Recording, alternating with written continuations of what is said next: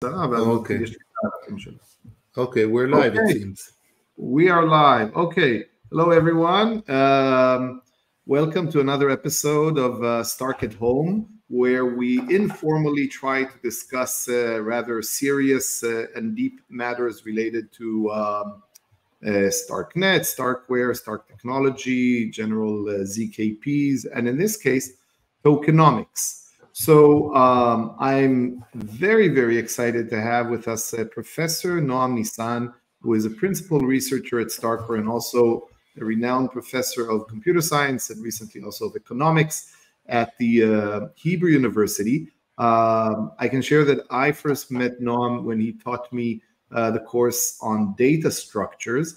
Uh, I was not fortunate enough to learn the from NIN to Tetris or from NAND to Tetris, uh, which is a very popular course that uh, Noam co-authored that came after my time. Um, but he's well known also for his uh, uh pedagogical skills. Uh, today we're going to talk about tokenomics. Um, but for those of you who came because you're interested also in things related to ZK uh, stuff, uh, I'll just point out that uh, the technique of arithmetization, which has to do with uh, basically converting problems about zero knowledge to questions about uh, low degree polynomials over finite fields, this was introduced to the field of zero knowledge by Noam and others in a beautiful uh, paper that also introduced the sumcheck protocol, and a bunch of other things. But I'm not sure we're going to have time um, to talk about that. Uh, Noam, do you want to briefly introduce yourself, or should I already go ahead with yeah. the question? So, hi, Eli. I'm uh, glad to be here, and thank you for the introduction. I think you've said enough. So, uh, let me. Uh, I think I don't need to introduce myself any further. So, let's uh, go on. So, um, you are the founder of algorithmic game theory. So, I want to ask you: Can you tell us, well, two origin stories? How did you get into algorithmic game theory? you were doing pure math and complexity. And then I'm going to ask you how you got into blockchain, which is uh, related to economics and CS. Okay, so so as you as you said, I started with a, as a pure theoretician. That's where where whatever in what I got my PhD. That's what I worked on. And when the basically the internet came into our lives in the mid '90s, I uh, sort of thought that it was uh, very important and uh, and I think that almost everybody in the world thought saw it was important. I mean, the newspapers were full of it. Uh, people everywhere outside of computer science knew something interesting was happening with this internet. Uh, but the computer science research in universities was sort of uh, very slow to change. And I thought that there is a lot, uh, really a lot to study and to think about uh, about this new world of the internet. And I started to look into these things, and very soon I realized that the thing that seemed most interesting, at least to me, uh, was the question of incentives. That is, previously, before the internet, uh, we had distributed systems, we had many different kind of uh, issues about computers, but we really didn't uh, take into account the fact that one computer is owned by one person, another per- computer owned by another person, and that is outside of cryptography, where we always knew that people, you know, could be bad or malicious, but we didn't have this notion that no one is malicious; it's just working for himself and how to get cooperation between computers that belong to different people, none of them really malicious, or most of them not malicious, but just selfish, uh, was a very new thing that we sort of uh, needed, I think, for the internet to fund to create systems that really work on the internet. So that's what I started to get interested at, and uh, it was obvious that you know game theorists and economists really thought about these kind of issues about cooperation and competition and how do you get systems involving many selfish entities. And I thought, ah, now we just need to connect that to computer science. And I think I wasn't alone. So there were a bunch of people starting uh, to do this kind of uh, connection. And that's basically how I got into uh, this uh, field of algorithmic game theory, basically trying to think what is the interesting major uh, you know major characteristic of computer systems and the internet that we missed before in computer science. I want to ask something on a personal just level. I mean, you know, you were a, a highly revered, uh, you know, pure math theoretical computer scientist. weren't you like scared to like uh, you know leave all of that and uh, meddle in this uh, much more mundane uh, i don't know economic yeah. stuff like uh, why why leave yeah. all of that amazing you know de-randomization and complexity theory um, stuff that you were doing uh, very successfully prior to that yeah yeah, okay, so that's a nice question. So the truth is personally I, you know, I was already tenured, so you know, the personal risk was low. Uh, but indeed, I mean, it was a bit scary I have to I have to say that you know people around me, all the computer scientists around me, uh, you know, they didn't look down at this new thing, but they thought, oh, this is really interesting. You should keep on looking at that. Uh, I can tell you an anecdote. My parents were sort of very uh, worried about my switch, so they understood mathematics, computer science. That seemed to them something serious for a scientist to do. But economics was very fishy, especially this new kind of economics, and they were really worried that I'm sort of throwing my career away. And uh, until at a certain point in time, my father uh, met Avi Wigderson in the parking lot next to our to their house, and he complained to Avi Wigderson that his son, me, was sort of doing something crazy with his career. And then Avi told him, "No, no, you don't understand. This is really interesting. This is going to be a big thing. It's very good that Noam is doing it." And my father uh, was uh, sort of uh, satisfied, and from that point on, even my family wasn't too worried. So okay, so um, I mean, you know, you were uh, you are and uh, you know highly successful now in the field of uh, algorithmic uh, game theory. Um, why uh, blockchain? What's interesting? Okay, okay. So what's interesting to me? So first of all, I have to I have to uh, you know confess the reason I really uh, at first got into blockchains was really because you sort of uh, showed me that there was excitement. So I was looking after I was dean of computer science. I was looking at different things. What should I be looking into next when I have suddenly more time as not being dean? And I looked at various kind of stuff. Of course, you know, learning was interesting, AI, and so on. Uh, but you know, looking at various subfields, I have to admit that the most exciting subfield that I saw was the blockchain world. That was the only thing where I felt the level of excitement that I remembered from the early days of the internet, where everybody knew something big was going on. And I thought, you know, excitement is where I want to be.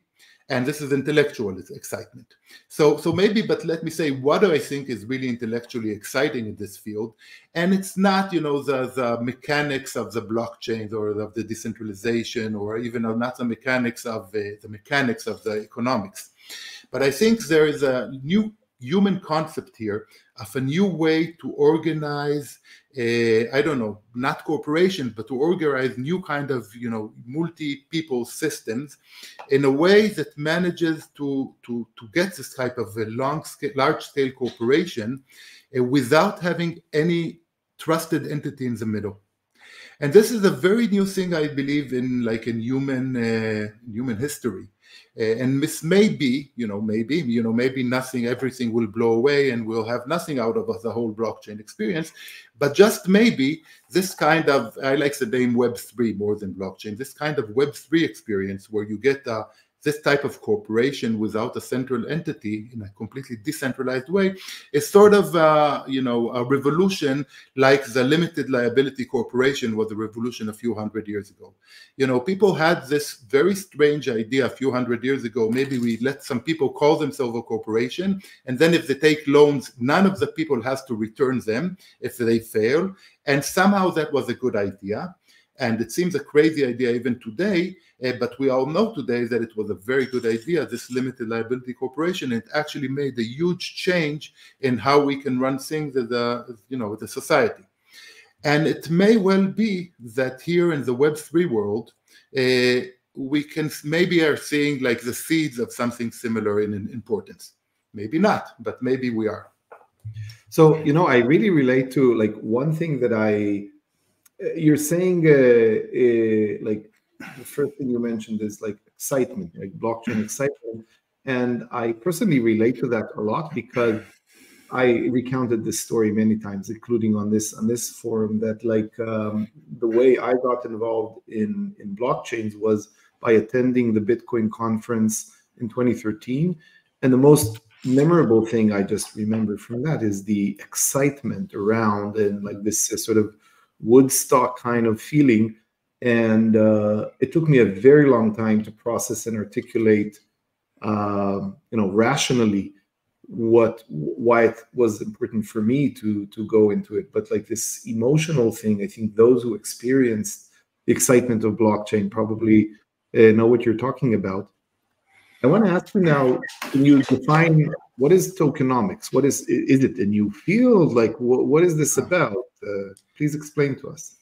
Okay, so so let me tell you how I how I like to use the word. So so some people use tokenomics in a very narrow sense of you know how the tokens of some company or some entity are divided by different kind of people.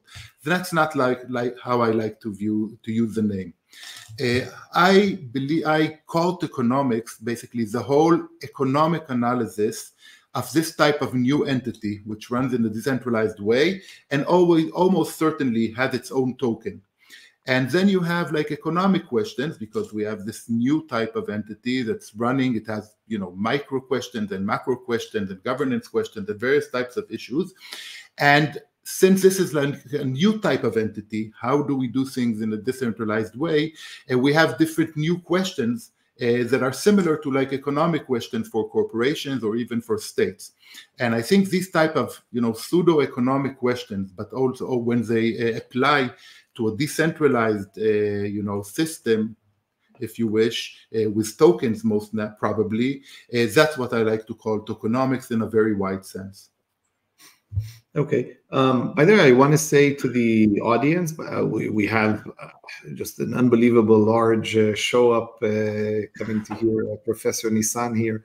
I see it's over, it's near 3,400 people are listening. So quite a, uh, show up. It's the first time we're using this particular uh, platform. Uh, I encourage the interested listeners to pose questions. We'll, from time to time, I mean, it's a very large audience, so we'll from time to time pick a few questions related to the subject matter and answer them. For those who came to ask all kinds of particulars about, um, you know, provisions or stuff like that, I, I, I regret to tell you that uh, we won't be addressing any of that matter. This is going to be about, as I said, Stark at Home is you know informal discussions of um, you know general research things related. So um, you know please uh, don't uh, bombard us with those kinds of questions. But if you're curious about what uh, Professor Nisan is speaking about, then please pose questions and we'll from time to time answer them. Um, so I guess uh, maybe we'll have discussion. First of all, you know, maybe you can first of all. So the Starknet token, as an example, right, has three uh, different uh, use cases. Maybe you can go over them and talk a little bit about, um, you know, how they relate to more traditional things in economics and how you would think about them. And from there, later on, we'll talk a little bit about the micro tokenomics and then also macro tokenomics and i'll ask you to explain what you how you define each one of them first of all what are the utilities and what the Okay, so, so, so let's see. So we in Starkware we usually say, or at Starknet we usually say that the token has three main uh, uses. The first one is governance the second one is paying fees, and the third one is uh, staking. So let's talk about these three uses. I think each one of them talks about a significant uh, sub area, if you wish, of, of, tokenomics. So the first one is governance. How do you want? Uh, how do you organize? How do you change? How do you modify? How do you govern? Govern uh, some Web three like decentralized entity. And so that's a big question. It's to some extent it's like corporate government governance in the usual world, where the question is you have a corporation, how do you govern it? You know, do you have a you have a CEO, board of directors, uh, uh, shareholders, and so on. And there's a huge uh, literature, both from law and from finance and from economics. What is the best way to run normal normal corporation? I think the same kind of question you get uh, for this type of new decentralized uh, entities. How do you run them? And one of the most interesting questions in this, how do you run them, is you have need to start with the question, what is the, your goal? What are these decentralized entities trying to do? What should they try to do? So, for example, for a corporation, uh, it's sort of clear that the goal of a corporation is to maximize the profits for share, shareholders. That's you know it took a lot of time for people to for you know humanity basically to figure out that that's a good way to run to run corporations was actually having this very explicit goal of the purpose of the corporation but it does not seem that that is a correct goal for a decentralized web3 kind of entity and it's you know maybe it's interesting to think a little bit why wouldn't this be the goal uh, for a web for a decentralized entity to maximize the profit of shareholders? And i think the main reason is if this is your why do people even come to a decentralized uh, system? Why don't they use a centralized system which probably is faster and cheaper and so on because they really value the decentralization, they really value the fact that they are not dependent on any single body, on any single corporation, on any single government. That's what they want to do. If you take that away from them, if the decentralized system runs for its own shareholders, then you're basically losing most of the benefits that you're going to get from decentralization. So you can't, this can't be the goal of a decentralized entity. If you build the goal, if you're, let's say, a for-profit corporation, and you're building a decentralized entity with this kind of goals it just tries to maximize the benefit of the corporation the for-profit corporations that created this decentralized entity. You're not going to get any users you're not going to get any use you're probably not going to give real value for society because you're not getting anything for the for all the troubles of decentralization. So i think the first question is what is the goal uh, of, of a corporation. And once you have that, then you can start asking, okay, so how are we going to run a corporation? How are we going to govern it? And that's a really interesting and difficult question. And I think there's lots to do there. It starts with normative questions. What do you want to do? Uh, you know, what is correct for humanity, and so on. So I, I you know, that's a huge uh, area, and I haven't thought of it about it much. I mean, we have thought about all of that, but I think that there is no clear understanding on this question, except for one thing that I would want to say that it seems very clear that a decentralized uh, entity like this it really should try to uh, give value to society. If you don't give value, if you don't help your users, if you don't give your users something that they need and want, you didn't do anything. So that's the the first very clear thing. And so you definitely want somehow to maximize the value that you create. Beyond that, there's much to think about. So uh, that would be the first, uh, I suppose, uh, question of uh, maybe not completely classic economics of how to run a how to govern your Web3 system, your decentralized entity. So that's the first uh, point. Right, of the three utilities yes. of the three utilities of the token. So the first one, the governance. It's a really interesting question, and I don't think that I have much to talk about it uh, here. Uh, although definitely it's going to be a huge question, uh, both normative and practical. Mm-hmm. Okay, so let's go to the second uh, kind of question, and, and this is the question of you're using it to pay fees. So again, notice the fact that since users are paying fees to your system, it already means that the system is doing something that they want. Otherwise, it doesn't make sense to pay fees for anything, right? So then the question is, okay, so how do you organize? So we have a system, and remember that we're not just trying to maximize the profit of anyone, of like some owners or some token holders or some corporations that created the, the, the system to begin with. Uh, we are trying to maximize utility in some way and maybe other goals as well. And then the question is okay, so how are you going to set the fees to the users not to maximize your own profits, but rather to to do what the corporation needs to what the entity web3 entity needs to do. That is to maximize the let's say the utility it brings to society as well as, as at large uh, sometimes called the social welfare in economics jargon uh, that the system brings. So that's the second kind of question uh, that basically you need to start thinking about uh, before you start uh, you know doing any you know mechanical mathematical questions about how do we set the fees.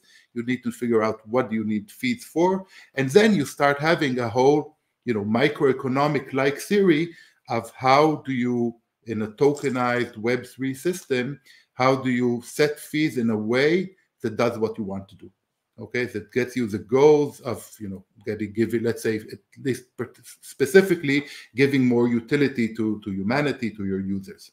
So that's the second kind of question and it's very similar to microeconomics but in this new setting of a web3 uh, tokenized entity system. Okay and definitely you know starkware with its la la la layer two kind of solution is, is, is, an example of this something that brings value to users. And you want to think okay how do you set the fees? Because of course you're going to have some fees in order to run the system. So that's you know at a high level that's the second kind of question uh, that's very similar to microeconomics theory. So we went over governance and we went over um, uh, fee uh, paying for fees. Fees Sorry for what's going on here with the balloons. yes, and uh, paying for fees is like I would say the central question or the first question in like a whole microeconomic kind of analysis that you want to do with Web three systems, and you can think of many uh, you know further questions about you know combination of different such uh, web3 entities or networks and, and, other questions like that but that's the second type of question a microeconomic fee-based question and then there is a third type of question, which is somewhat similar to macroeconomics, but again applied not to states and countries, uh, but rather to, uh, to Web3 systems. And uh, that question is, though, how do you organize this whole idea of, you know, when do you mint the token, what do you do with the token, how much people are paid uh, for participating in the operation, and all the questions of basically you have a token it's like like normal you know fiat currency that we sort of have this huge body of literature of how do we organize it what is the inflation rate what does the interest rate how does it control various things that you care about.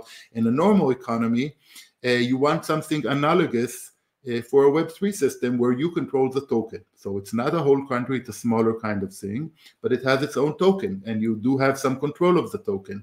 And you, the, all different questions that you may ask for a country, now you can ask about how to control your own uh, token in a Web3 system. So that's the third type of question I would say that I would put into the, you know, the, the big, uh, you know, vague word of tokenomics. Okay.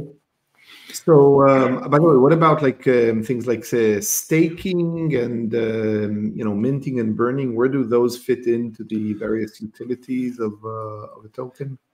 Yeah. Okay. So I would say that minting is is, is square falls square into the macroeconomic question because you mint new tokens and sometimes you burn them. Of course, that's a macroeconomic thing. How much do you want to burn mint? How much do you want to burn? But uh, and then of course staking. So minting, its main purpose is going to be uh, for staking, or it could be. I be, I like to say that a main purpose, if not the main purpose, of the minting should be to reward the stakers uh, in a proof of stake system. So of course we have other proof of work systems which I, I don't want to talk about here. Uh, but so that would be macro tokenomics. But we have to remember that when you actually reward people, you always have to think also about the macroeconomic implications, about the incentives at the you know at the micro level that you're introducing. So there are there's a, there is a macro question of how, in general, overall, you want to see you know rewards and minting and burning, and there are micro questions about how, in particular, you're giving the right incentives uh, for people. Uh, so so I would say they're mostly macro, with of course some micro implications.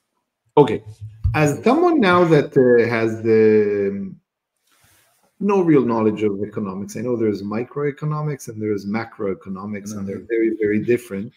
And we're now going to talk very soon about micro tokenomics and mm-hmm. macro tokenomics. Economics. Can you please, uh, once and for all, explain, at least to me, maybe to the listeners, what is the micro and macro for well for tokenomics maybe by using an analogy for uh, from the world of economics maybe we'll at least understand um, micro macro distinction. okay. Yeah so that, that's a good question. So i think that micro tokenomics you're looking for a very specific small i don't know market or transaction or exchange or you know buy sell kind of ish uh, of, of situation. And you're looking only at that and you're thinking about the participants you know what each one of them wants what each one of them can do what are the actions that they can perform and what their incentives are. So in some sense that's you know and then you're trying to see you know how are things evolving what do you need to do in order to get the you know the optimal results the best results what are the types of equilibria that you will get because you are different participants uh, but all of them looking at a very uh, small so you're focusing you're trying to isolate a particular situation let's say sometimes between a few people sometimes between more many people but you know maybe considering one good or two goods or a small number of items and you're trying to figure that out. And usually microeconomics can figure it out uh, very well. So of course you know there's always in economics a difference between any theories that you do and the real world. The real world is always more complex because people are always more complex.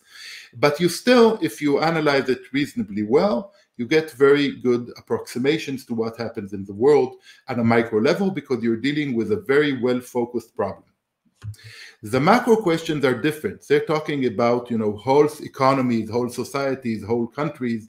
Questions like what is the total employment or inflation in a country, and that's usually uh, more difficult to analyze well mathematically. And I think it's also probably true that there's less uh, consensus on what is the correct macroeconomics than there is on what is the correct microeconomics. So the macro is difficult. It talks with questions that in general are very wide and so also a bit vague. And I think believe in general people understand less the macro questions than the micro questions. And uh, it need not be exactly the same, by the way, in tokenomics. Maybe because we are in like an artificial society, maybe we can figure out the macro tokenomics as well as we can the microeconomics, uh, tokenomics. Uh, we'll have to see. So now I'm guessing that a lot of the listeners are like myself, you know, well versed in uh, blockchain in general. They know the Bitcoin's minting schedule. They probably know something about EIP 1559 as the fee mechanism on Ethereum. They know about gas. So can you help us um, understanding how would you define uh, the questions that are micro tokenomics and what kind of questions are macro tokenomics and then we'll dive into some of those. Okay so i think my i would say that micro tokenomics is basically from the point of view of users buying stuff from the system and uh, and figuring out how do you want uh, your interfacing with your users usually at a very small at, a very uh, low level of granularity. So the user wants to do x how are you going to price it in a way that you get the type of results that you want okay? So i think the most natural so if we're taking from the blockchain world everything that relates to fees is very clearly a microeconomics. When let's say when ethereum uh, had the you know eip 1559 they designed a new fee mechanism. So where I'm putting in some money, you know, you know, the fee is defined according to some kind of schedule where the base fee goes up and then there's a tip and so on. And that's like a whole type of mechanism as it's very specific. And when I, as a user, actually go to go and want to buy to run my transaction, I basically respond to incentives along that line. Now, 1559 also has uh, another component of fee burning, uh, which is basically intended really which you know the user doesn't really care about so from the user's point of view it's the same whether you burn the fees or give them to anyone uh, i don't know anyone that you want a validator say uh, but from the validator's point of view of course it matters a lot uh, whether he gets a fee or the fee is burned and so on. So there's also a microeconomic kind of question on the validator side about in this specific transaction, what are my incentives and what happens if I get the money, someone else gets the money, you know, the fees and so on. So all these small details about looking at the specific uh, the specific transaction and how the validator acts and how the users act and so on, uh, that's microeconomics. Now, of course, if you look at the fee burning at large, then you're suddenly in the macroeconomic thing because we burn a lot of fees overall then of course that has macroeconomic implications uh, because you know the total number of tokens uh, gets uh, decreased or increased according to how, how it works and that's a macroeconomic let's say implication of the microeconomic mechanism Uh, so that's an example of what would be a micro kind of question.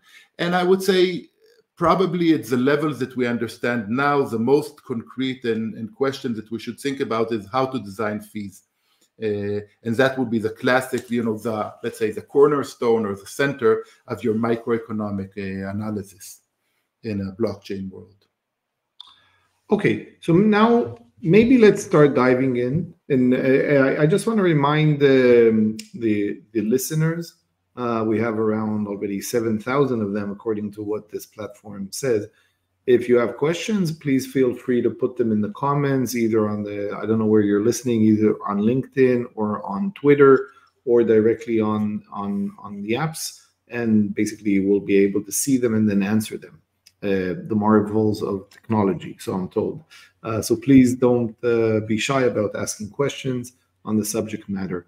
Um, so, uh, Noam, can you lead us through your thinking process or just generally what's going on today? Like how should one design uh, fees? What are the general okay. principles that you think uh, they should be designed by? And then uh, i think we should talk a little bit about like uh, all the intricacies of getting it right. Okay so so let's see. So i think the the most interesting and important question is what do you want to achieve so you know you're going to design fees in some way. Uh, you know, as a, definitely as a scientist, you have some kind of goal, and you're going to design the fees in the ways that will get you as close to possible to your goal. So what is your goal supposed to be? Right. So classically in mechanism design, let's say in auction design, uh, classically the people are talking about two different types of, uh, of goals. One of them is called social welfare minimization, maximization, and the other is called revenue maximization. So revenue maximization means that I'm looking from the point of view of the seller and I'm trying to maximize his profits, his revenue. Social welfare maximization means that I'm trying to look from the outside. So I don't have favor the buyer or the seller. I'm looking from the outside. Let's say I'm a benevolent, benevolent government, and I'm trying to design it in the way that will bring most uh, utility to the world. And you know that's classical economic theory, and both uh, of these questions are very, very well studied.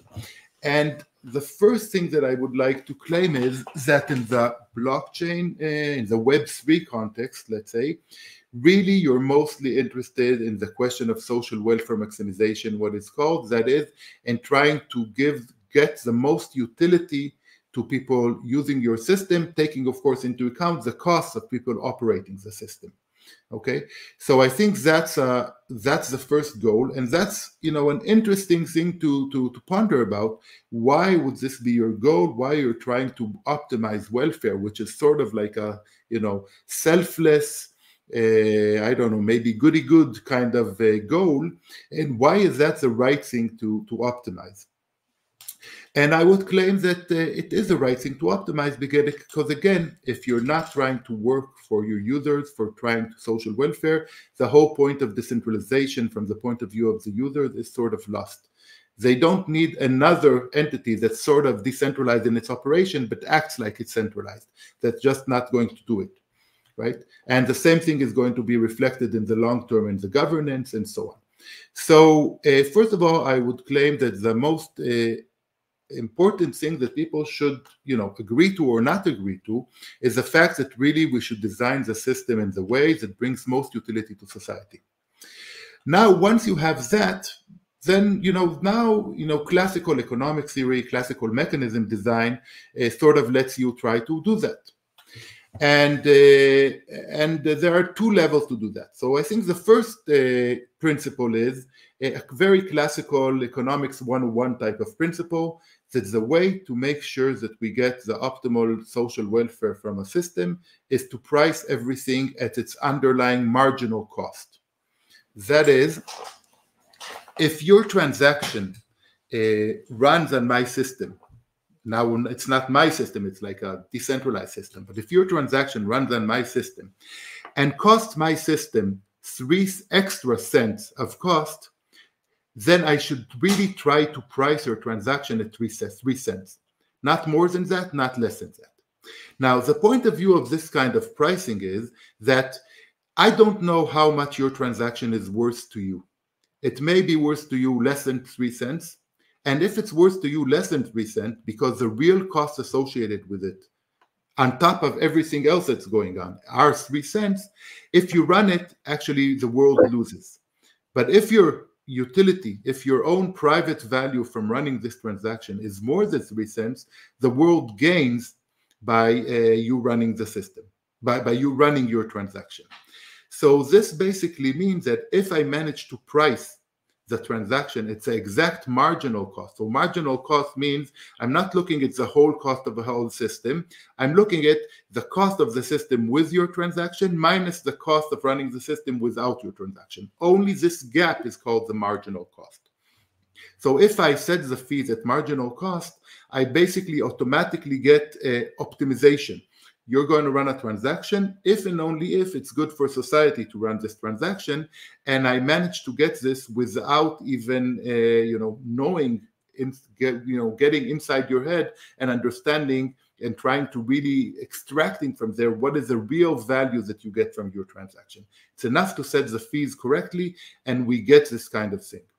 But, so, but who can cover now the fixed cost right? I mean um, uh, in the context, let's yeah. say, of right? There's uh, you know this big group that uh, comes along, and now if I add, I think you once gave me the analogy of like you know there's a bus going from whatever uh, A to B, and it's already going there. And now I marginal cost means that if I yeah. join the bus, I should only be paying something related to my weight and the air conditioning I'm right. breathing and things like that. But but then Maybe you could explain that and like yeah. who pays the cost.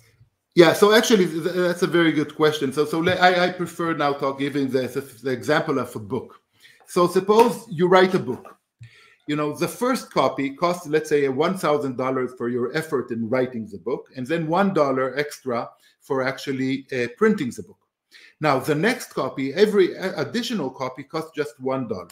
So if we say, let's say, run another 500 copies, the total cost will be $1,500.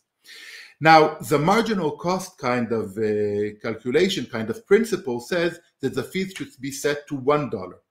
Okay, so if I set the book at $1, I really make sure that once the book is written, I really make sure that as long as someone gets a gain that's more than $1 from reading the book, which is more than the cost to actually produce the extra copy, he gets it.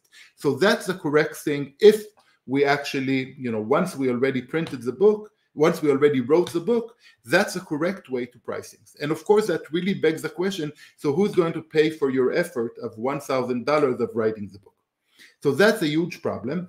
And in the real world, uh, there's no solution except somehow the users are going to have to split that thing unless you know the government intervenes and does this original subsidy sometimes that happens. But in general you're going to have to split this fixed cost what is called the first cost that of writing the book uh, you're going to have to split it amongst these users which will cause some kind of inefficiency okay? So and in the real world there is nothing to do about it the nice thing is that in our world, in the blockchain world, uh, we're going to have an escape. There is a way to pay for that for minting, uh, but maybe we'll talk about that in a little bit when we go to the macroeconomic question, uh, because even if you man, if you believe me that somehow magically we're going to find a way to pay for all these, you know, the fixed cost, which the marginal costs don't pay, there is always a question of how do you uh, actually set the mechanisms to get the correct fees, to get this marginal cost? Okay, so that's important, and there is a very tricky uh, issue there of what exactly is counted in the marginal cost, uh, because the most important, usually in the blockchain setting, for example, the most important element of the marginal cost is actually uh, what's cost, uh, what's called the uh, congestion cost because your transaction got in, somebody else's transaction did not get in. That happens whenever we have some kind of, let's say, limitation, bottleneck for the system. Uh, for example, let's say in Ethereum, you can't run more than, I don't know, 13 transactions a second on average, or a certain amount of gas.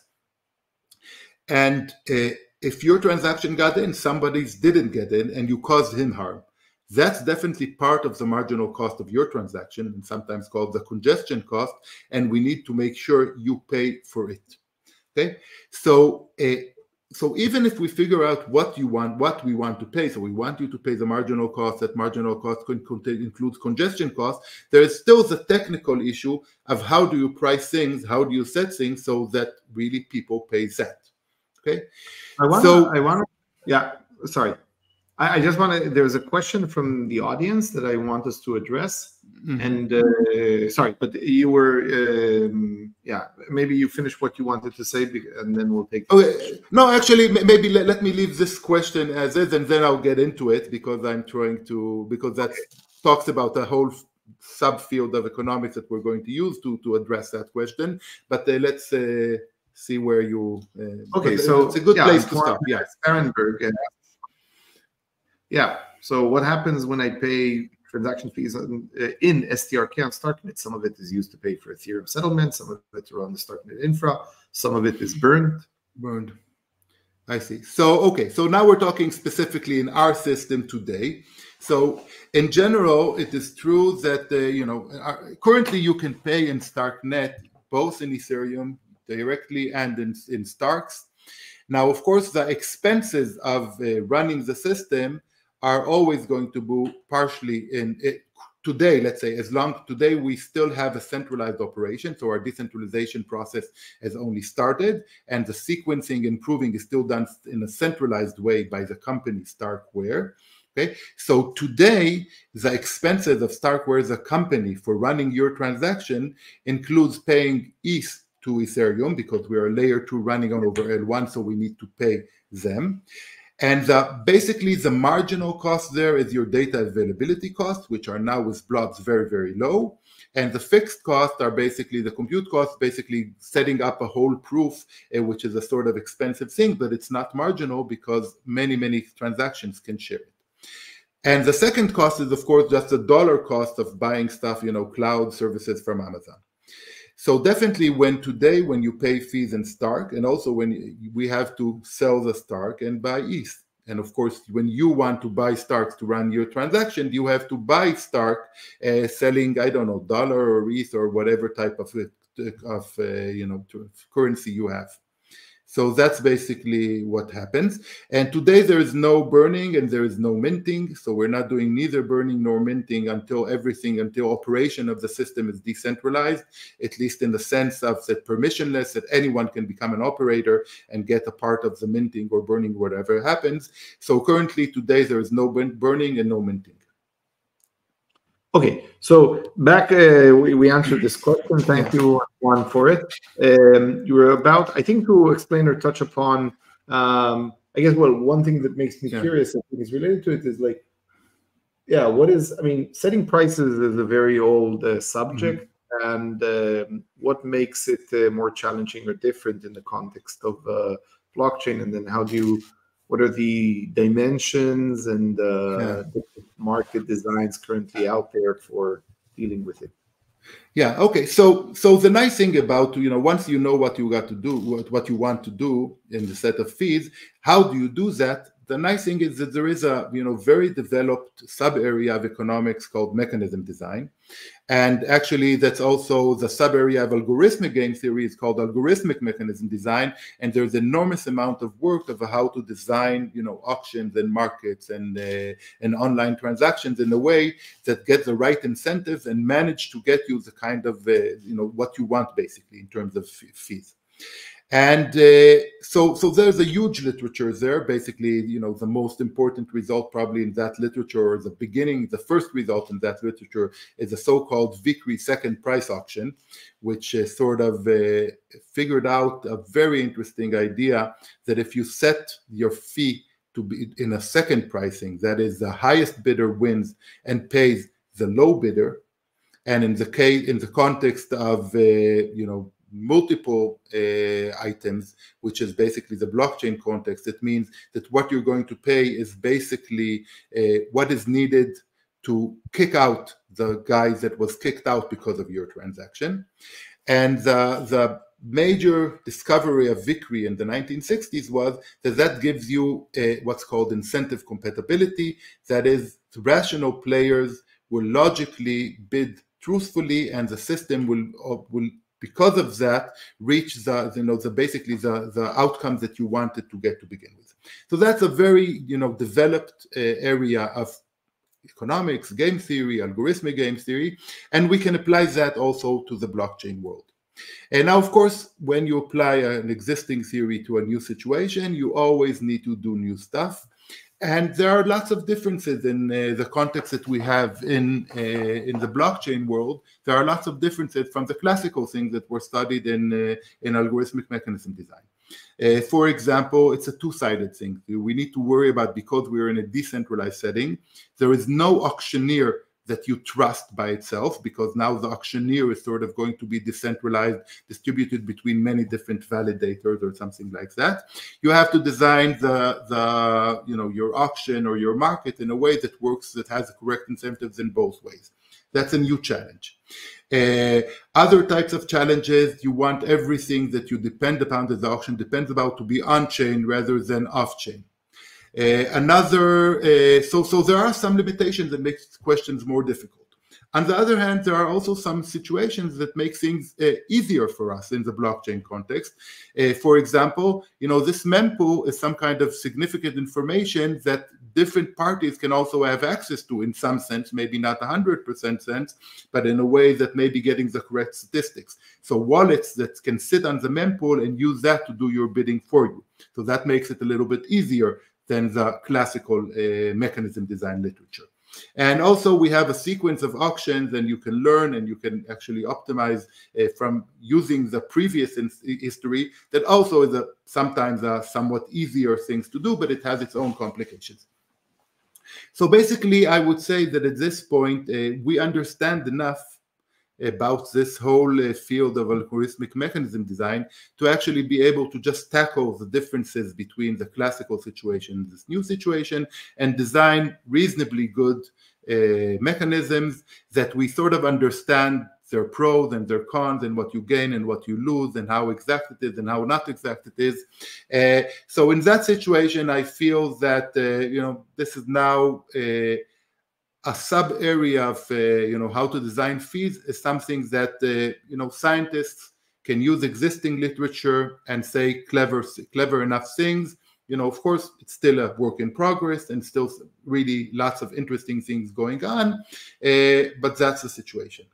So uh, now uh, preparing to this you you told me that today if you're you know you want to pick your transaction fee mechanism, there are like three very fundamental ways. Mm-hmm. There's like first price, first price, 1559, and uniform price. Can you, you know, give us the economist, like your economist view on what are these three three different mechanism mechanisms for fees and their pros and cons? Um, it's interesting that there's not just one that everyone is using. Okay, so price 1559 and uniform price, what are they? Okay, so so let's uh, let's start. So first of all, let's we're you know this is a question about the simple kind of fee mechanism design where we have like a single dimensional sometimes it's called. We have like one good like gas in ethereum or like block space in in bitcoin. And so i suppose that the three basic kind of mechanisms you can think about are the following.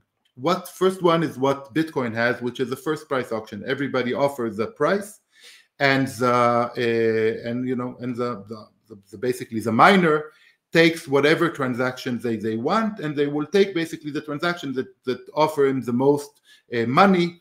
And the way to do this optimization is basically uh, according to bank for buck. That is i'm looking at the size of your transaction i'm looking at how much money you're offering and i'm looking at the price per per size or price per gas and taking it greedily more or less even though you know real estate market right? You sell a house uh, people show up and uh, you just go with the one that gives the highest uh... yes but now you know it's a real estate market that where people want to buy only parts of your house. So you want to you go according to how much they're willing to pay per square meter or square foot of your house right? Okay and and theoretically you know this may be viewed as a knapsack problem which is np hard but practically, the so what so-called greedy approximation, uh, which is you go by the linear solution, uh, which is doing exactly this kind of greedy thing of bank per per per buck, uh, is exactly uh, is a very good approximation. You know, within some uh, you know. Some okay, so this was the first. and it's well known and it's very simple. What's not to like about it? Why right. why did the people come up with any other mechanism right. but with this very simple one? Right. Okay. So so what's not to like about it? The main thing is not to like about it is what's called it's not incentive compatible, or the way we like to view it in the blockchain world as this that's like a UX from the user. So if I need to define to if I need to offer a bid uh, for my block, let's say in a first price auction, I don't really know how much to bid. So suppose I probably do know how much gain, how much I will be willing to pay for my block, my transaction to be a part of the block. Let's say I know I'm willing to pay four dollars because that's the you know the gains that I get from it. But I don't really want to pay four dollars. If it can get in with one dollar, I'd rather pay one dollar. And in the first price auction, if I say four dollars, the four dollars will be taken from me if uh, if that uh, you know if if, if my, my transaction get accepted uh, so i will probably try to say instead of four three or two or one and i don't know what to say whether three or two or one because it depends on the whole world so that makes it very difficult to participate in these kind of auctions and in general people don't like uh, that kind of uh, situation because it's difficult for the users. They need to keep on changing their bid according to market situations. Now, so that's a minus, but I would like to say there are two things that uh, make it not so bad. So the first one is like a general kind of thing. In a situation where the market is sort of stable, I can sort of try to figure out, I look at the market and I can sort of analyze the market correctly and figure out what is the best uh, bids that I can make, i.e., what is the lowest bid that will get me in.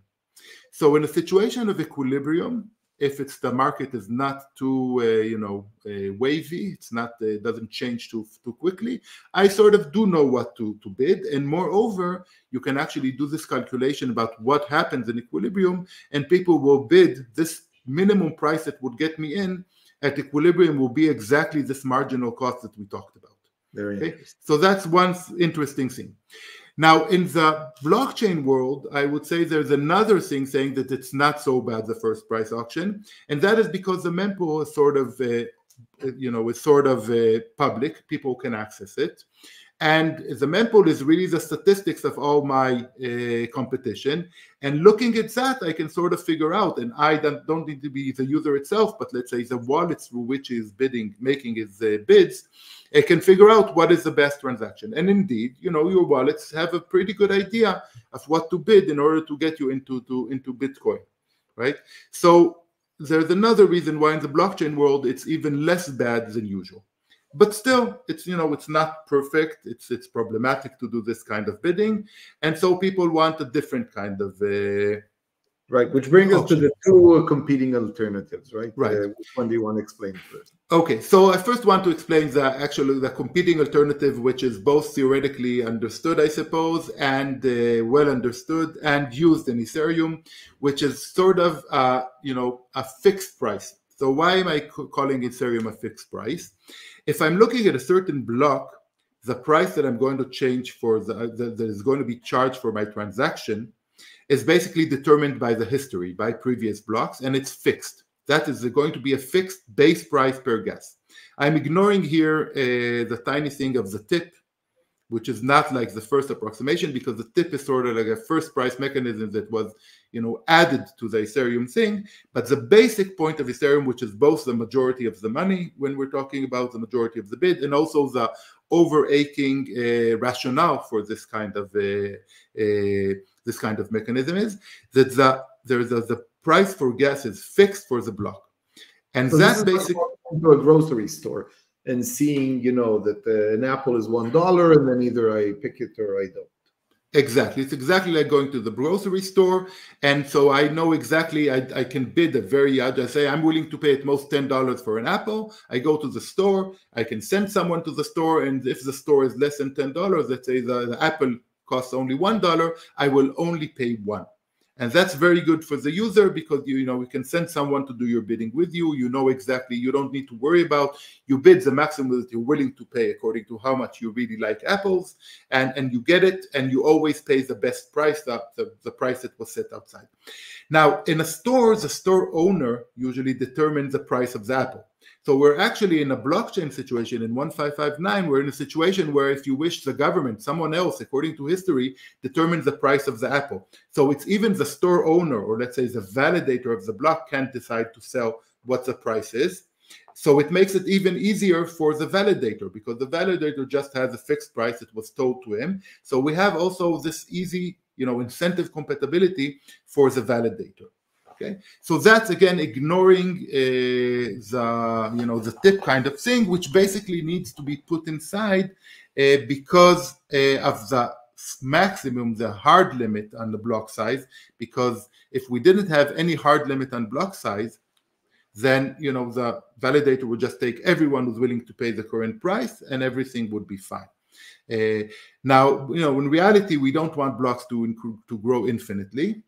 So there are two things going on. First of them, generally speaking, the the mechanism, the way that sets the fixed prices according to history, is done in a way that makes sure that the average block size is 15 mega uh, mega gas.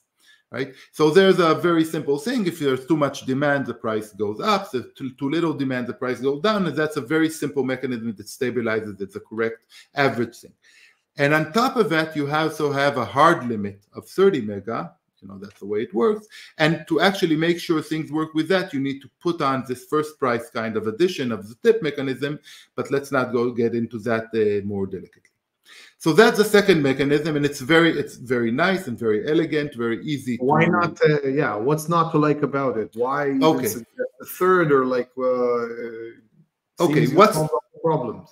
Right. Yeah. So what's not to like about it? There are a bunch of things not to like about it. Uh, here are two things that I think not to like about it.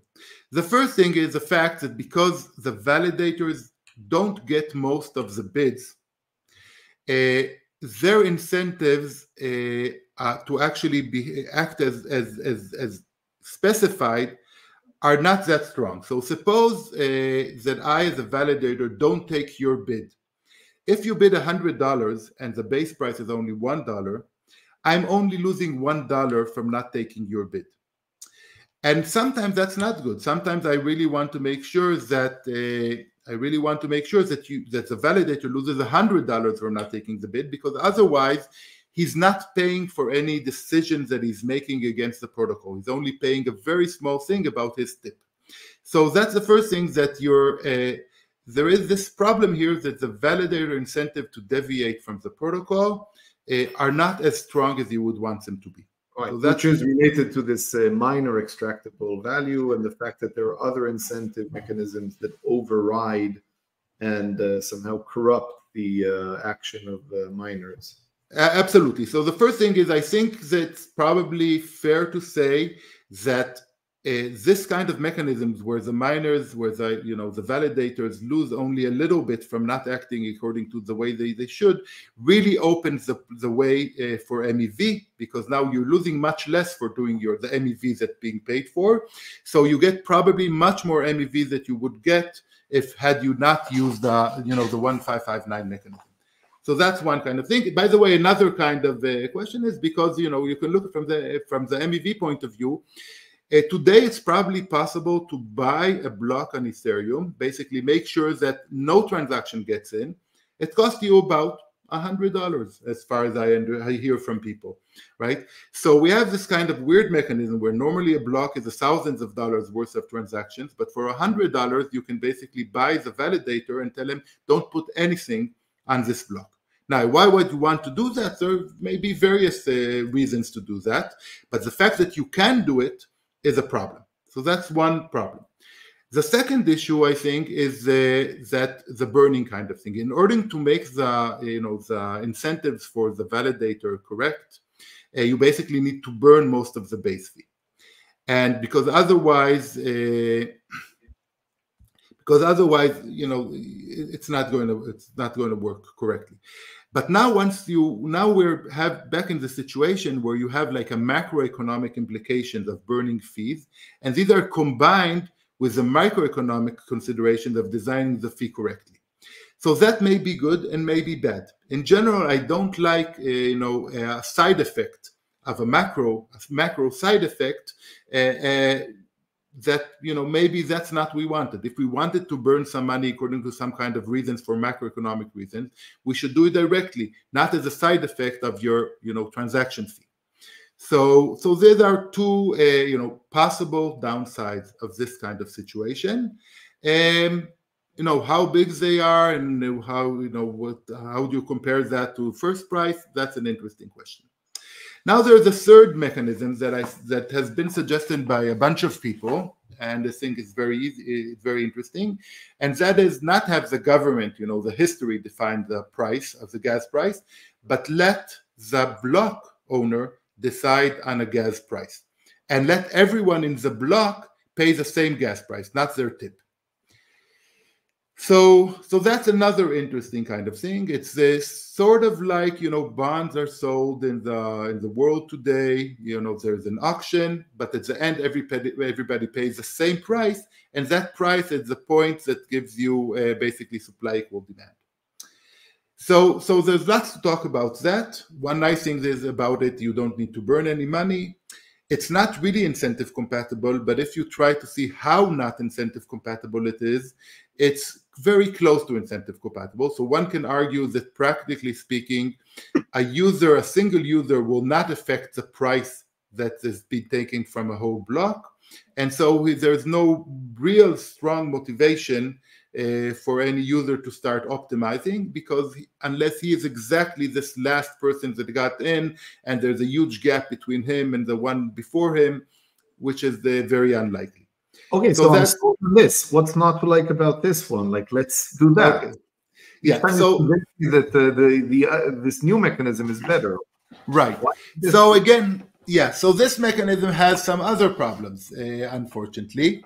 Uh, one of them is this uh, kind of monopolist problem that it's not clear that the that a validator, that the guy who describes sets a block and decides on the on the price, will choose the price that, that makes you know demand equal supply that really give you the fee that you wanted which is a marginal cost.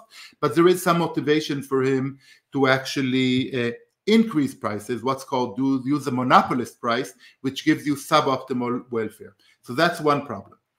Another problem is this does open possibilities for collusion between the validator and the user.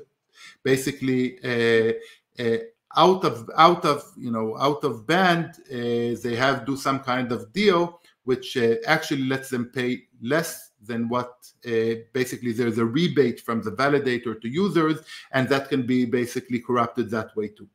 So again how bad these two things are uh, and uh, to what extent this is practical that's another kind of question but that would be like a third basic type of possibility uh, that people have been looking at now, before and, we, yeah, sorry, go, yeah. go ahead.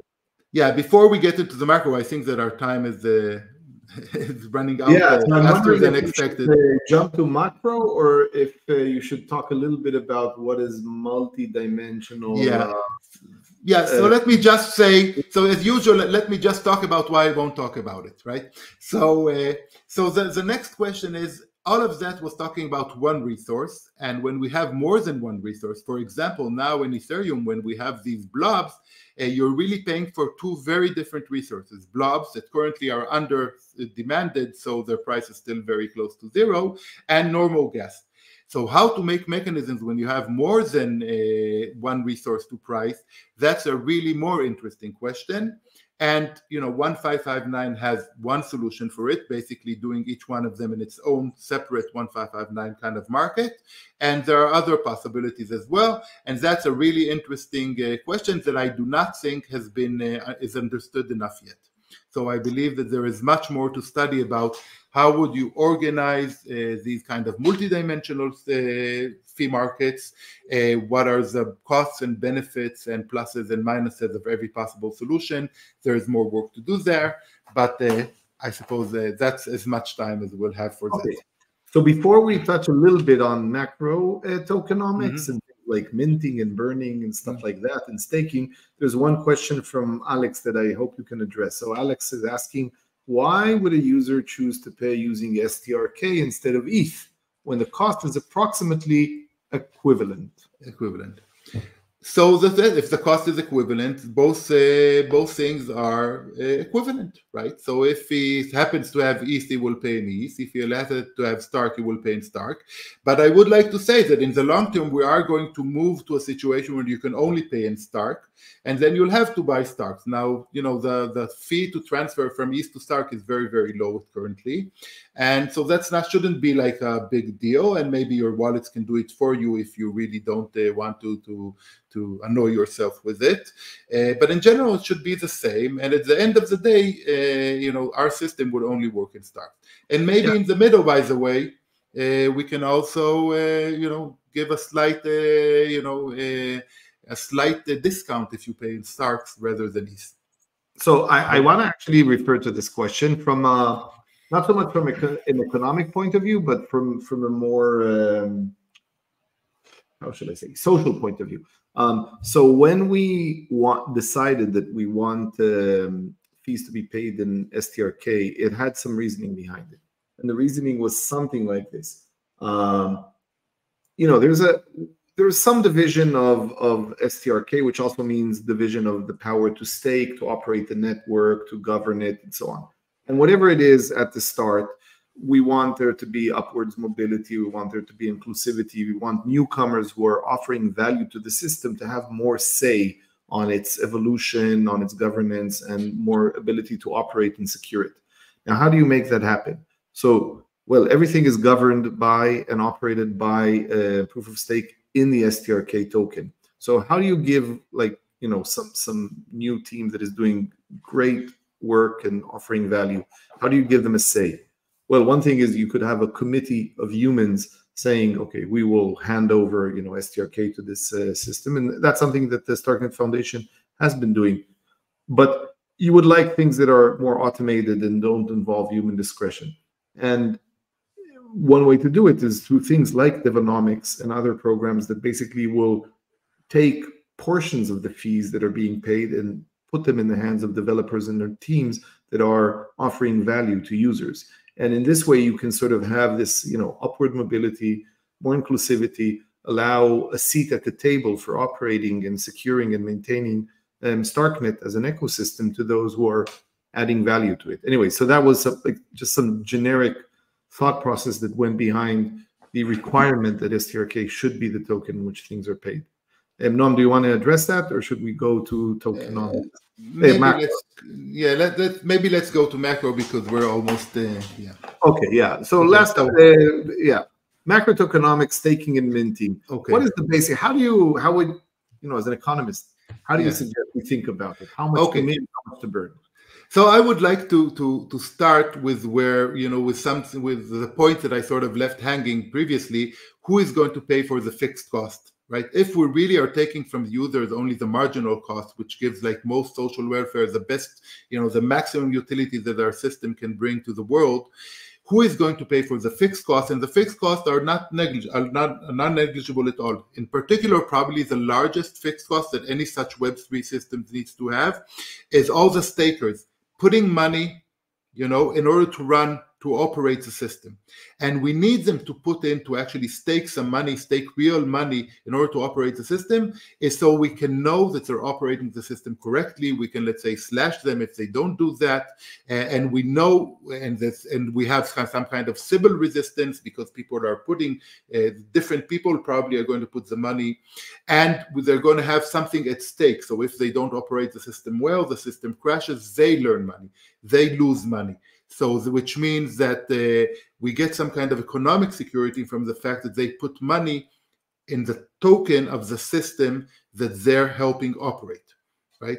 So, so just putting all this money to operate your system it has some cost because otherwise they could just go and buy some kind of stock and get dividends or or whatever in the financial market right? So that's a real big cost that you have to have all set up before you anyone starts using your system.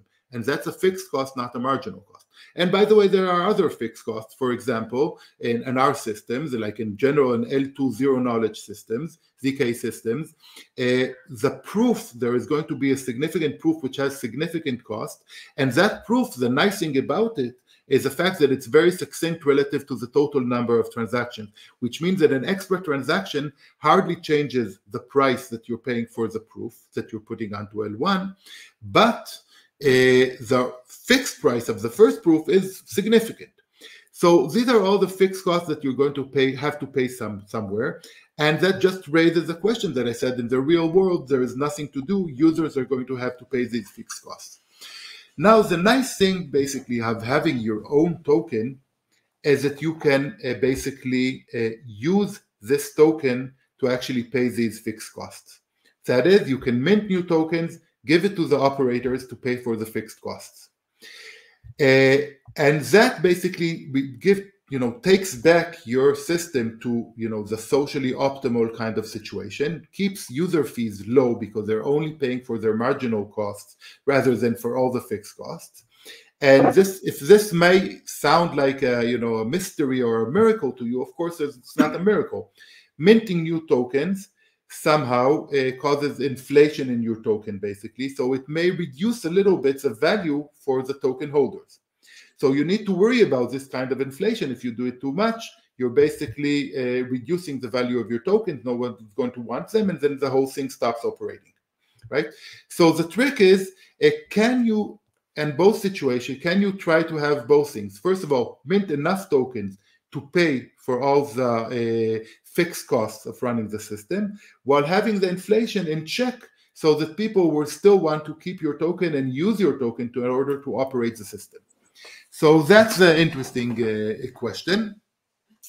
And uh, before we talk about this, these numbers and see that it does work out, in fact, uh, I would like to say that uh, you know some uh, know listeners might be wondering whether this is even like a fair thing to do. Why are we letting the token holders pay for some of the costs that really users pay in the normal world? Okay, so beyond the fact that maybe it brings you more efficiency and keeps fees low, why is it correct to put this burden on the token holders to put making the users pay low fees? This is in the long term. And the answer is uh, this is also in the long term in the best benefit, in the best interest of the token holders.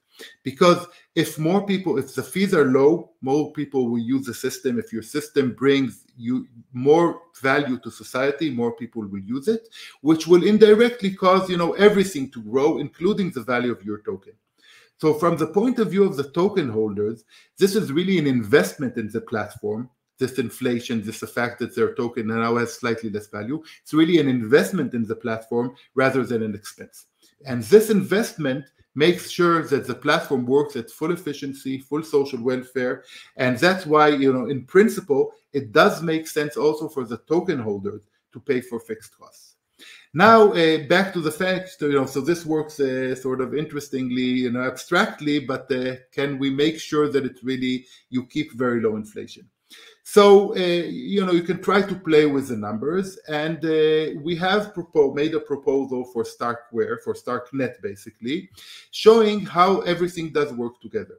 So we have some kind of curve, which basically mints more tokens as more stake is put into the system in a formula that's very similar to the Ethereum formula it goes up by a square root factor, basically, of the total stake.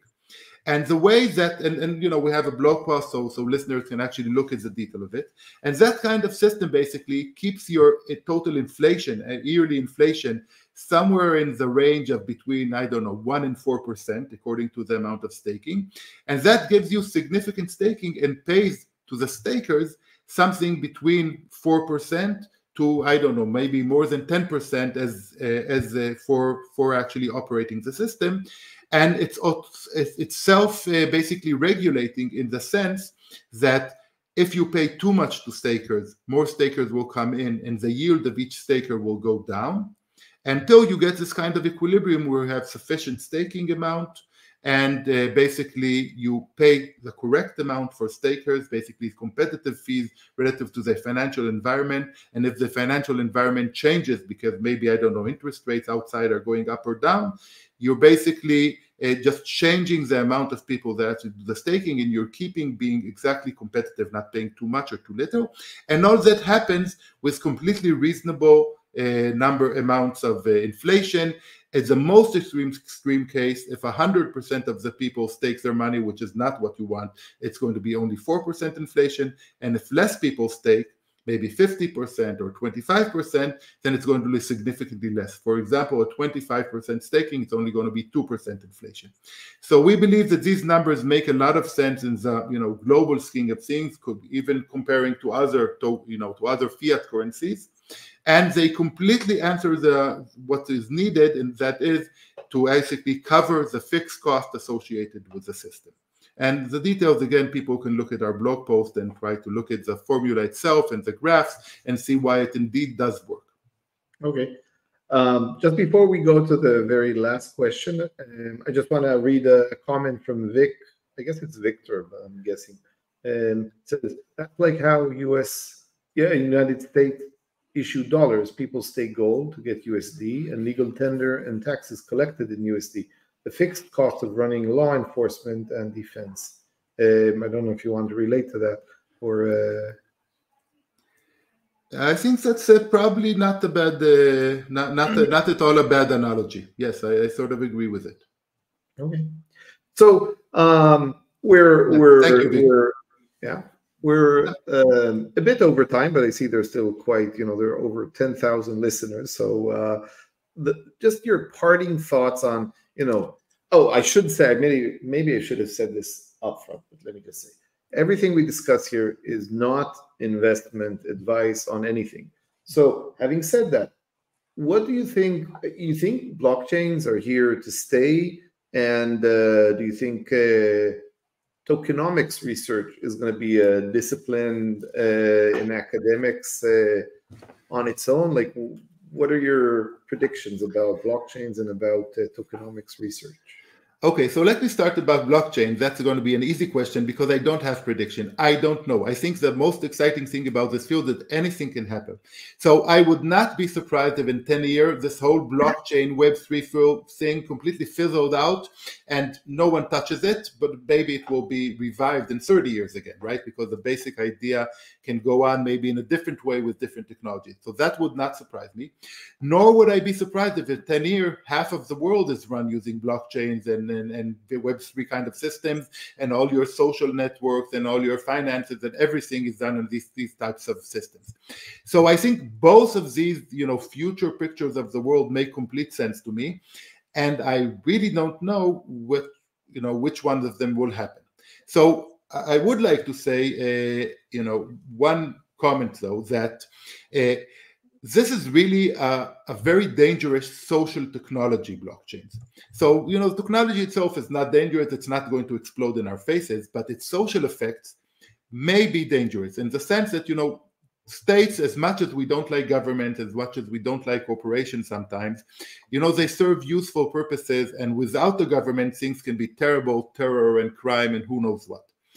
And the real question about our field is are we going to be smart enough to actually create Web3 systems, create blockchain that gives you the benefits of not trusting a centralized uh, governor, whether it's a company or, uh, or a government, without getting the risks that uh, that happen when there is no government, go no government, and people go completely wild uh, illegally. And that's a really interesting question with how smart we, we can be, whether we can avoid the pitfalls of you know weakening central government or central corporations while reaping the benefits. I believe that it is possible, but it's a danger that we should always keep thinking about. Okay, so that's uh, you know one thing, and of course uh, that if we don't manage to do that, people will kill the whole field, and justifiably so if we do manage to do that, and I think with it we can do that, I think there could be a great uh, future also for the Web3 endeavor. So that's about the, the thing, and it was easy because I don't know what will happen, so it's easy to say that.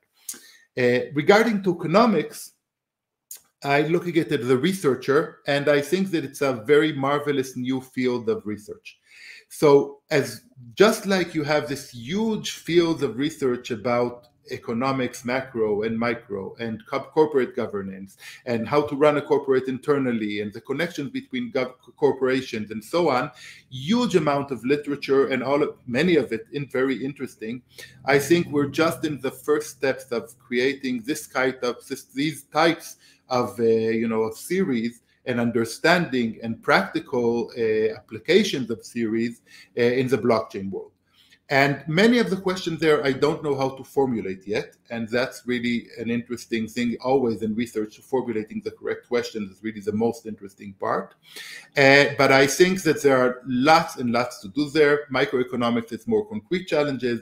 Macroeconomics, it's more less concrete challenges because we need to understand now this new world, what what is a token what does it mean and so on. And at government level it's a governance level of blockchains. It's even higher level kind of questions touching maybe legal uh, uh, aspects and so on.